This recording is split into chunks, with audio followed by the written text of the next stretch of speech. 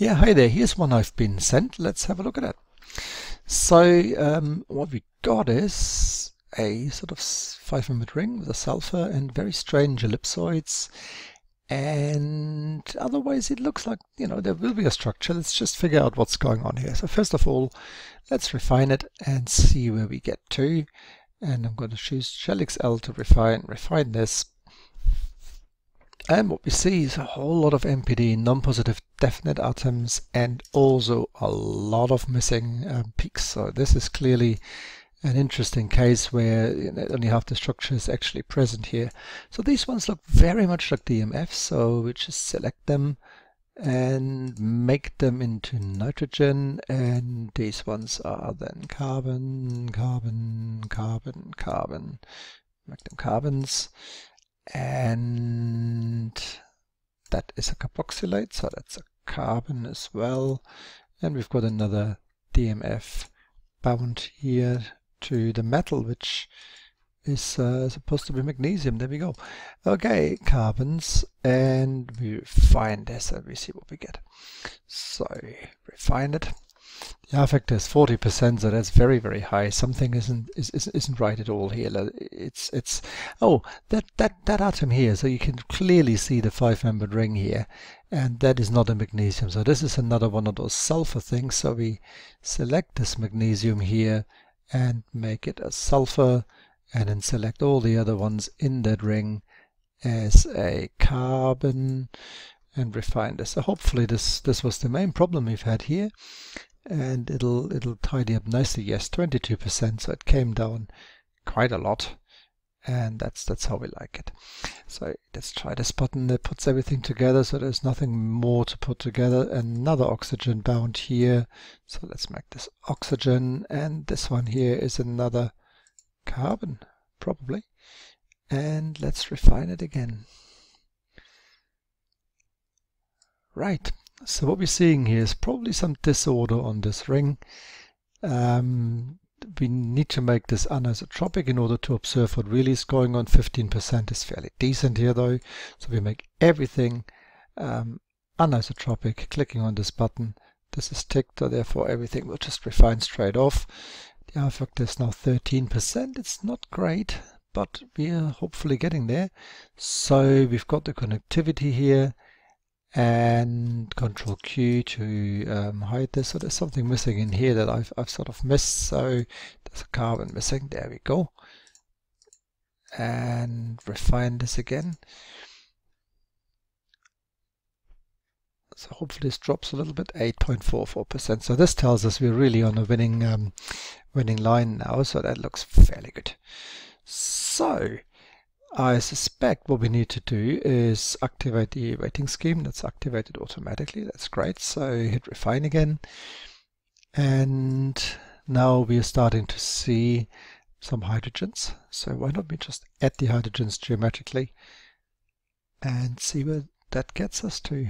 Yeah, so we've got some uh, DMFs, they, wobble about a bit, that's fine, and there's maybe some disorder here, but I think in this particular context I, I, am not going to go down the disorder route. Um, and now what else can we observe here? So this one obviously must go to something else, so this probably goes to another ring, so we can start moving the asymmetric unit about by clicking on mode grow and move. So this triflate here, where does it come? Come on, click. So that moved it from over there. That's not really helpful. So we might as well leave that ligand intact. Okay, so in, in principle, uh, this is sort of a settled structure.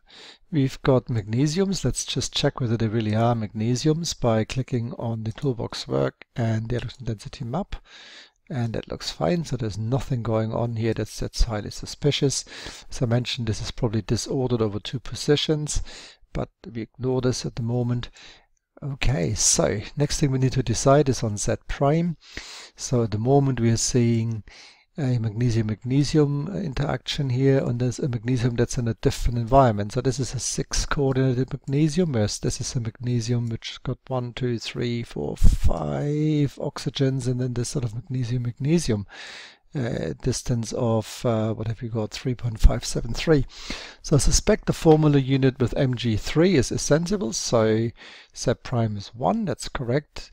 Obviously the formula right now is not what's on the screen, so we're clicking on this, and this adjusts the formula to what's on the screen.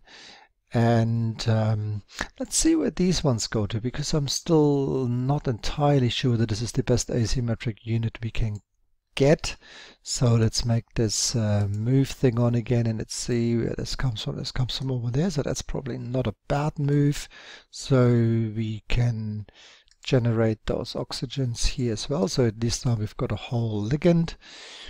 And we have the same game that we can play on this side. So we generate those oxygens at this point. So these are all symmetry equivalents. So the structure is exactly, come on, the structure is exactly the same. Nothing's really changed, but what we've got is we've got a full ligand, we've got another full ligand, and we've got a third full ligand. So this is very clear.